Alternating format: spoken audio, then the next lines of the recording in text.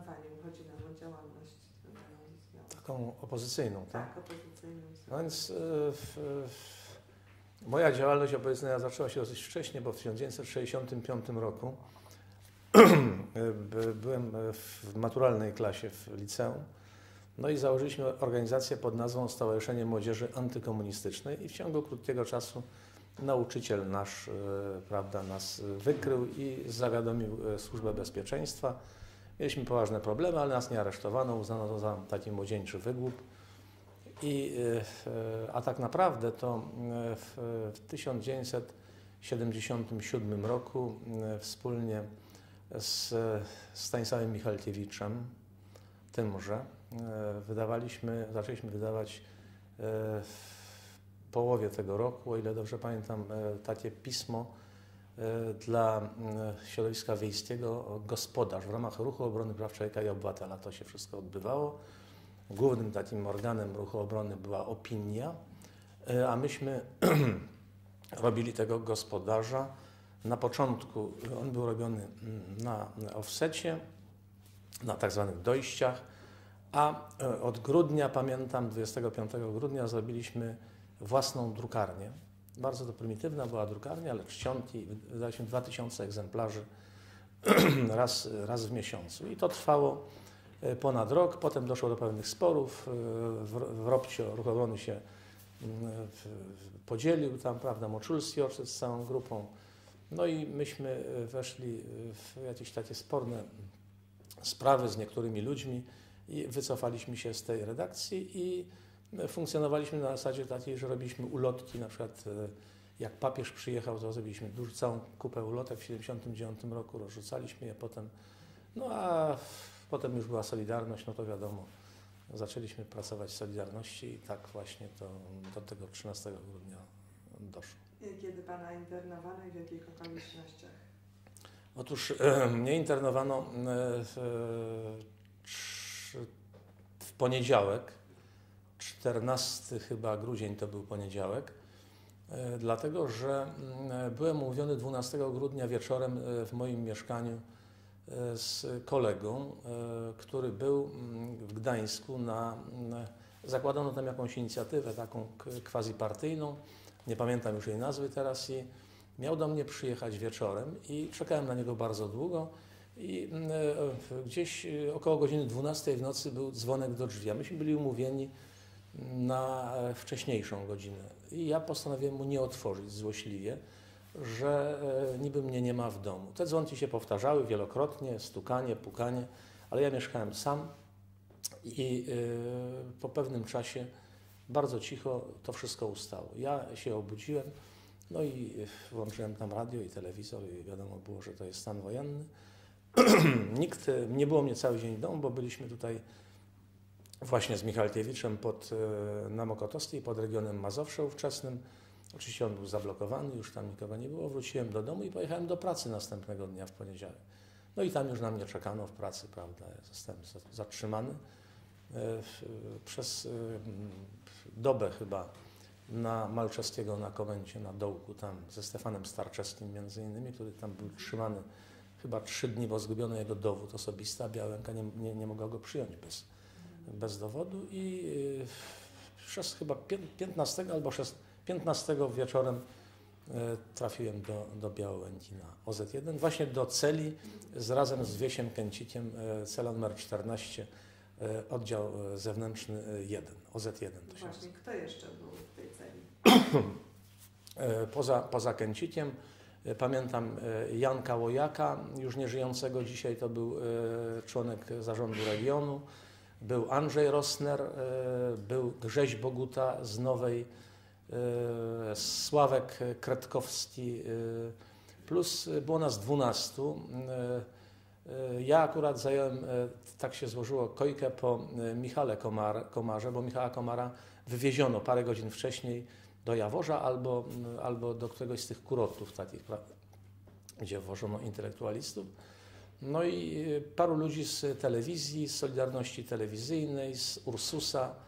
e, No i to na, nasza dwunastka.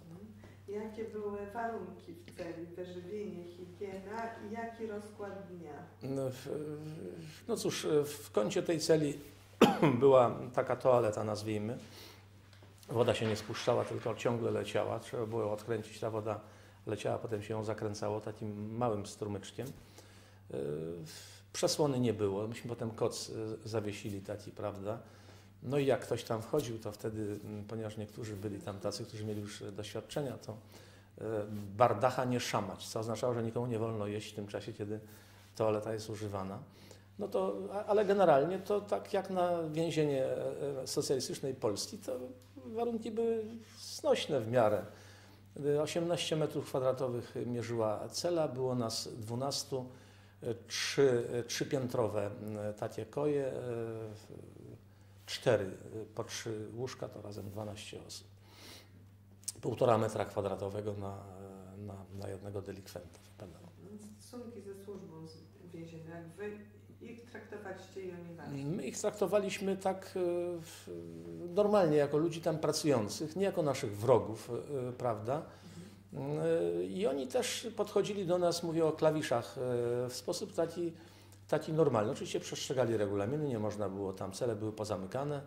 Y, Mieliśmy tylko godzinę spaceru dziennie, raz na tydzień łaźnia, wspólna taka duża. I poza tym oczywiście to normalne były relacje takie, prawda, jak ktoś coś potrzebował, to stukał, on klawisz otwierał, prosił go o coś tam, prawda, ewentualnie. I no, to nie, nie dotyczyło oczywiście służby bezpieczeństwa, bo właśnie, oni weszli tam y, Kiedy? dosyć szybko, już tak po paru dniach, ja nie pamiętam dokładnie, ale może trzeciego dnia, czwartego i proszono y, na rozmowy takie, prawda, żeby Do e, do, do, e, tak zwanej ambasady. To był e, budynek e, administracji więzienia e, obok e, tego naszego pa pawilonu i myśmy go nazwali na spacerniaku ambasadą, prawda, że to jest ambasada Związku Radzieckiego, gdzie usiłują nas przekabacić na, na socjalizm naukowy. I mm, tam te rozmowy, niektórzy chodzili, niektórzy e, odmawiali kategorycznie A e, pan? pójścia. Do mnie przy, przyszli, y, y, przyszli, ja odmówiłem y, pójścia na rozmowę, natomiast y, pamiętam w kwietniu w, w, y, zmarł y, mój kuzyn, taki dawny partyzant Armii Krajowej, dowódca oddziałów partyzanckich na Zamojszczyźnie i ja, przys- przesłał mi Emil Morgiewicz, y, mieliśmy tak, taką dziurę pomiędzy, rura szła kanalizacyjna, wygrzebaliśmy taką dziurkę i korespondencja przechodziła E, wpychaliśmy takim drucikiem, prawda, i listy, różne informacje, żeby się komunikować niezależnie. Przesłał mi nekrolog ze słowa powszechnego tego właśnie Józefa Śmiecha, pseudonim Ciąg. I ja napisałem e, do komendanta e, obozu e, internowania taki list, że proszę o 48 godzin przepustki, ręczę oficerskim słowem honoru, że wrócę po 40, 48 godzinie.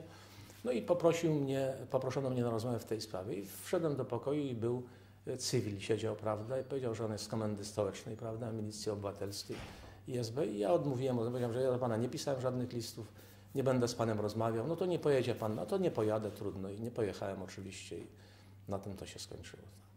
A namawiali pana do wyjazdu za granicę? E, Os osobiście nie. Były takie apele ogólne, z tego co pamiętam, że e, byli pracownicy MSZ-u, nazwisk już nie potrafię podać, którzy e, prosili właśnie do ambasady na rozmowy i oferowali wyjazdy, że natychmiast po uzyskaniu e, akceptacji e, w ciągu krótkiego czasu będzie e, przygotowany dokument wyjazdowy. Myśmy pytali tylko, czy to w jedną stronę będzie dokument, czy też w dwie strony odpowiedzi jasnych nie było. Niektórzy chodzili na te rozmowy. Pamiętam taką scenę na spacerniaku, kiedy jeden z, nazwiska nie będę wymieniał, jeden z członków zarządu regionu e, zdecydował się na emigrację. To był chyba marzec, bo już taka wiosna była wczesna. No i Adam Michnik zrobił karczemną awanturę na spacerniaku, krzycząc, że e, obelżywymi słowy, jak on potrafi czasami, no, mówi, że jak się wsadzono na białego konia, to się nie możesz zesrać, a ty się zestrałeś tutaj, prawda? To były jego słowa, no tamten się zawstydził, powiedział, że on już tego dosyć nie wie, jak długo będzie siedział, chce pojechać do Stanów albo do Kanady i pojechał tam. Ten Samorząd, samokształcenie, jak wyglądał w Białęce? E, No więc e, w, w okolicach Bożego Narodzenia pojawiły się paczki e, takie z Czerwonego Krzyża, adresowane i, i część e, imienna, konkretne nazwiska.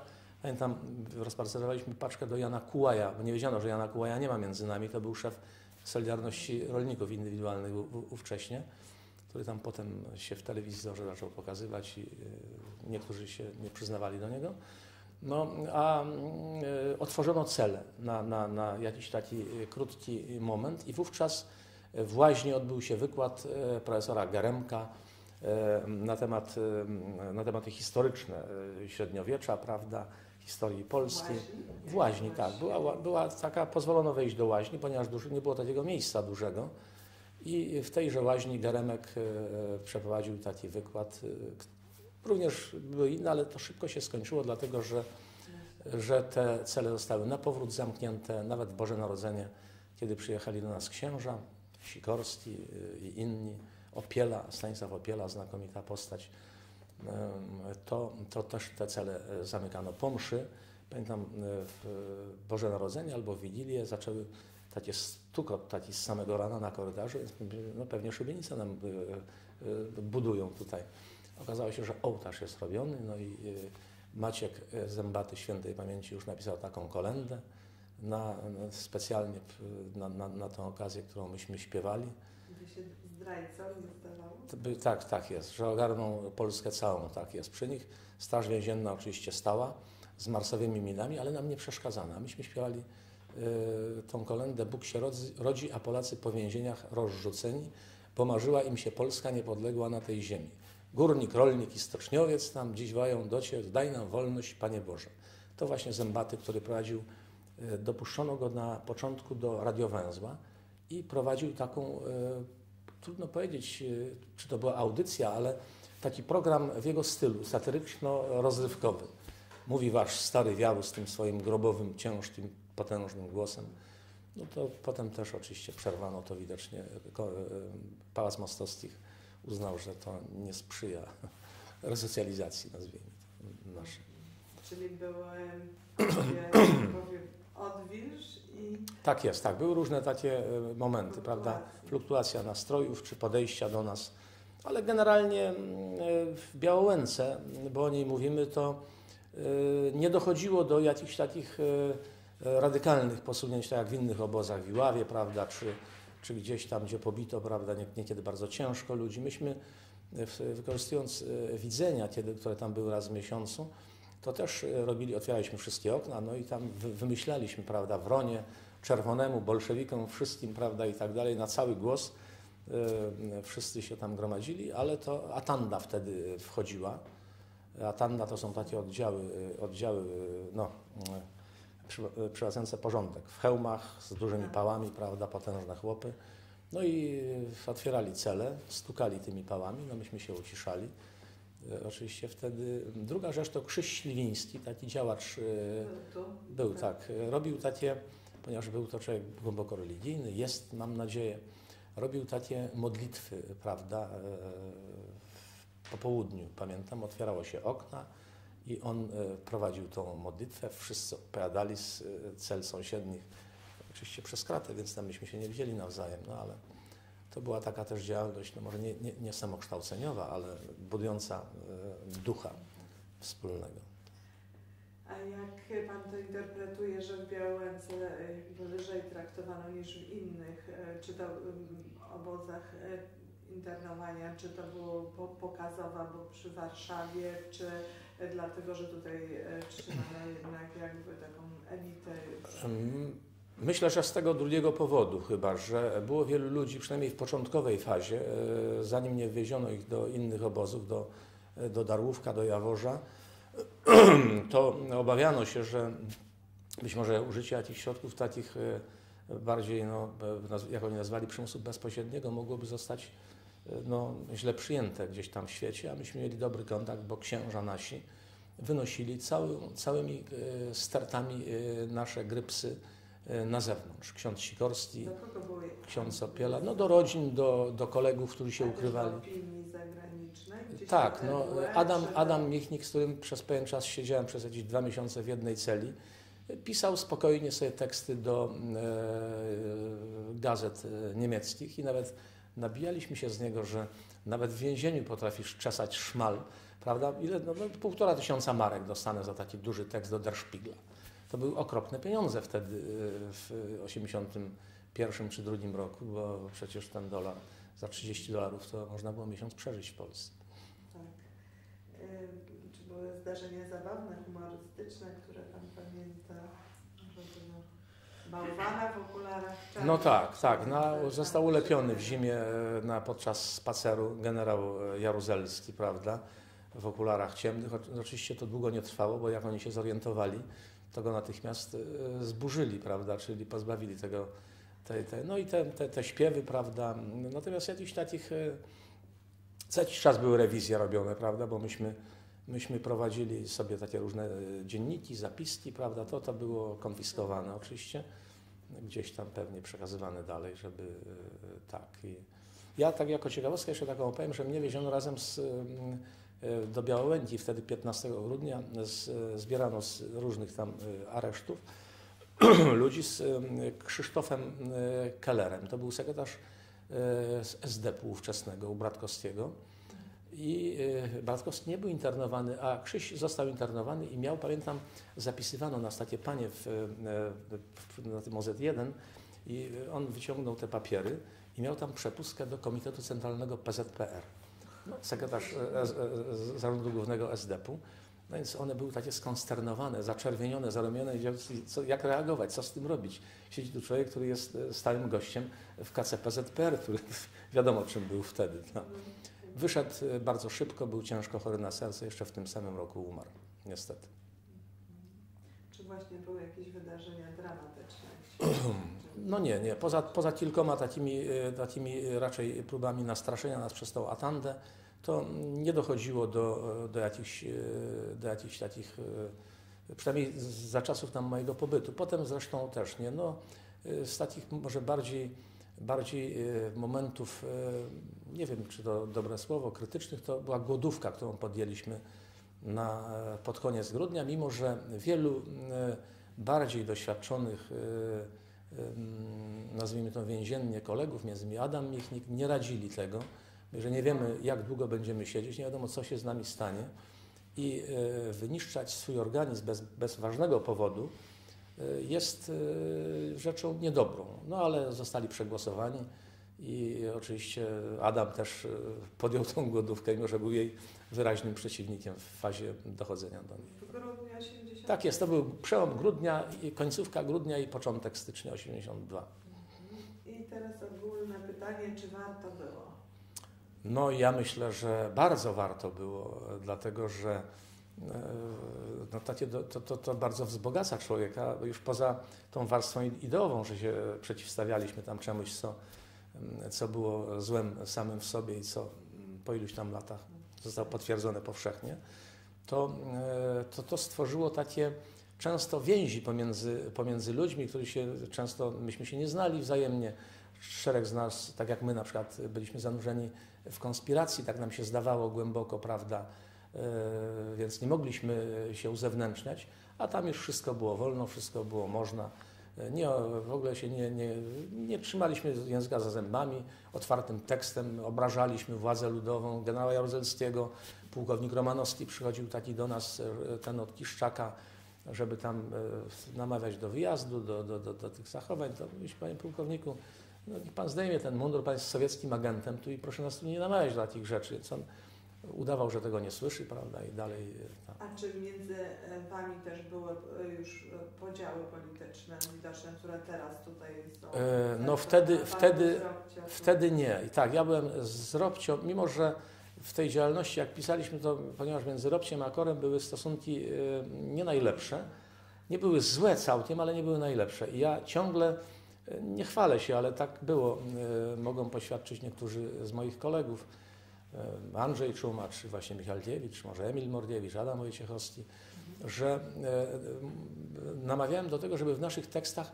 nie atakować koru, że to są tacy sami ludzie jak my, którzy mają tego samego wroga, a my tutaj tracimy czas na wzajemne waśnie, kiedy oni się z tego tylko cieszą, prawda? Więc y, tam różnie było. No niektórzy byli bardzo radykalni tacy, prawda? Wojtek Ziembiński na przykład, prawda? Najpierw był w korze, a potem nie mógł znieść fioru y, żadną, żadną miarą. Tak. Bardzo dziękuję za wypowiedź. Proszę to przeczytać do kamery ze swoim imieniem i nazwiskiem. Tak. Wiem, że panowie nie lubią podpisywać niczego, więc przeczytam. Teraz już możemy. Tak.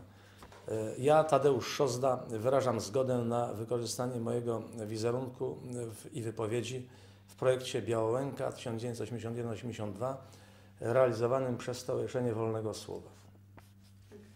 Dziękuję bardzo. To jeszcze to jedno zdanie, że ja byłem od do, proszę Aha, powiedzieć, tak. dobrze, internowanym w Białymce. Tak. jest- Y, Siedziałem w Białęce od y, 15 grudnia 81 do 29 kwietnia 82 roku. Jeszcze może jedno Tak, słowo, że zapomniałem dodać o tej działalności przed, y, to nie po kolei będzie, Tak. ale przed sierpniem y, 80 roku, od 78 roku właśnie razem ze Stanisławem Michaliewiczem, z którym dziś nas dzieli bardzo wiele albo prawie wszystko politycznie, byliśmy kurierami Robcia e, w, e, na zagranicę i byliśmy e, kilkakrotnie u Jerzego Giedroycia w e, paryskiej kulturze, u Zosi Herz, Zygmunta Herca, bo jeszcze wtedy żył. E, Przy, przywoziliśmy pieniądze, które tam kultura zbierała na KOR i na Robcio, no my oczywiście na, na Robcio tylko. Mieliśmy pełnomocnictwo specjalne, prawda, i no cała też sfera związana e, e, agenturalna, prawda, jak tam e, jeden z członków Robcia informował SB o Michalkiewiczu, który tam będzie, który będzie forsę woził, jak nas rewidowano na granicy, potem jak te pieniądze, e, nie wiedzieliśmy dlaczego, prawda, ale jeździliśmy na winobranie formalnie, prawda, i wracaliśmy jako młodzi ludzie z winobrania. e, no. Skonfiskowano wam? te Nie, nie, nie skonfiskowano, ponieważ rozdzielaliśmy na kilka części po kilkaset dolarów. To były kwoty wielkości trzy- 3000 dolarów, jak na tamte czasy spore, E, ale dzielone były na po 1000 dolarów czy po 800 i to odpowiadało mniej więcej miesięcznej e, czy półtora miesięcznej pracy w, e, na winnicach e, południowej Francji. No. A jeszcze pytanie, e, nie zadałam, które mi się skojarzyło teraz, czy w Białęce byli e, agenci między wami? No myśmy, myśmy, wtedy, myśmy wtedy tego nie wiedzieli, jakkolwiek ja pamiętam, że e, Andrzej Czuma i Emil Morgiewicz e, twierdzili to wprost, myśmy to odrzucali, e, że Paweł Mikłasz e, jest agentem. No niestety to się e, po 2000 roku potwierdziło w sposób e, bardzo precyzyjny i rzeczywiście bardzo szkodliwy człowiek typu Lesława Maleszki w Korze, to, to Paweł Mikłasz był w, w. On był w Białęce też od, chyba od samego początku. I są dowody na to, że Tak, w IPN, i- są akty, e, są, e, są dokument, jest pełna dokumenta, prawie pełna, z kryptonimami, pseudonimami. Leszek Moczulski w swojej książce e, cytuje część tych, tych dokumentów. Tak. Również dziękuję bardzo.